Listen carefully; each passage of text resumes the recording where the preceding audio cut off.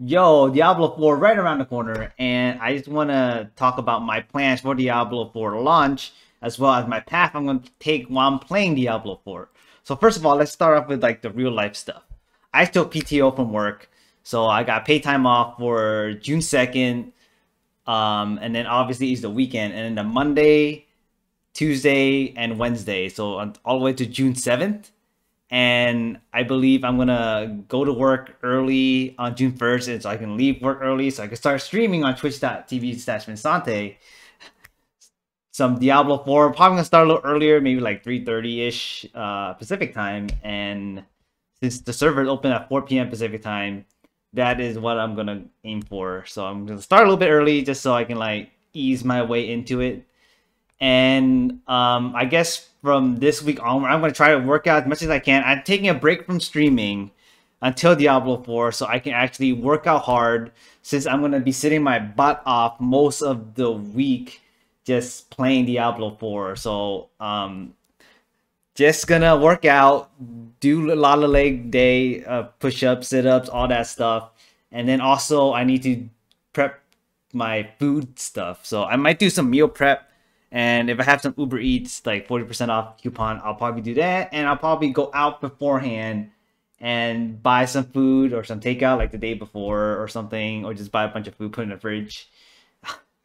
so, in terms of Oh yeah, and I'm also gonna like grab a bunch of water. I'm gonna put it over there. We're near my mini fridge and stuff like that. Just gonna drink water.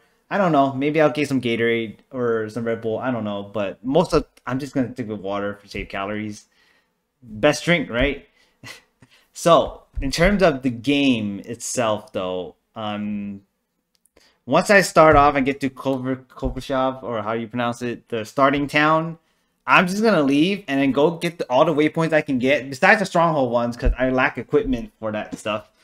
Um, once I start off, I'm gonna go around, get all the waypoint and altar of Lilith. So I'm gonna post the like the snapshot of all the Liliths for Act One at least. Get that because um, when I was playing in the beta, I actually got to level 20 just looking for Liliths, you know, running around, doing side quests along the way, only along the way, and just killing things and do war events along the way while just getting the Altar of Liliths. And they actually give you permanent stat boosts if you didn't know, and it gives EXP, and it'll help you with your uh, region unlock. So I believe at around like the third part of the region unlock per area, you can get like extra skill points. And obviously, if you get more, you get Paragon points, right? You go all the way in um, for World 3 and World Tier 4. So you get at least a step ahead since you get these passive stats right off the bat. So I may be level 20, but I feel like a level 25 or something because of all these extra stats that I got.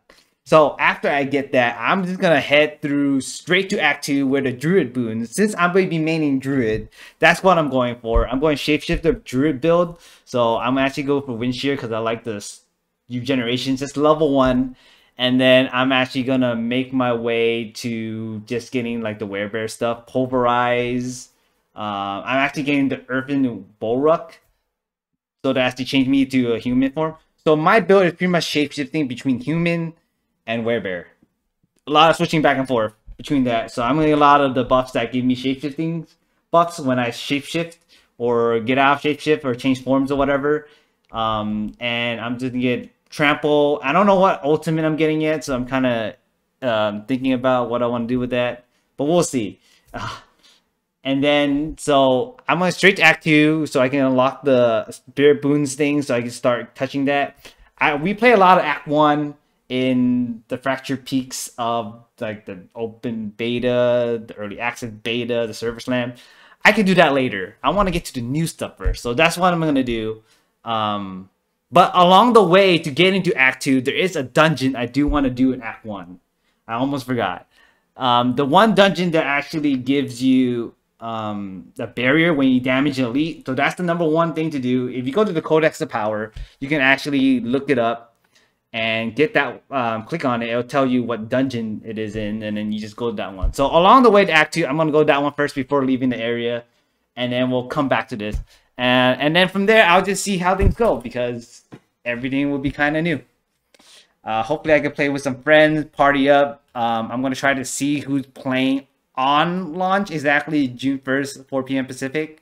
Um, if not, I'm just gonna be streaming, and then whoever wants to come in and jump in, we can do party things together. It's not that bad doing solo, but you do get the party exp um in there, and then as long as I'm also doing it, I want to make sure to upgrade my potion and get the potion to get the exp boost right at the potion alchemist guy in the main town.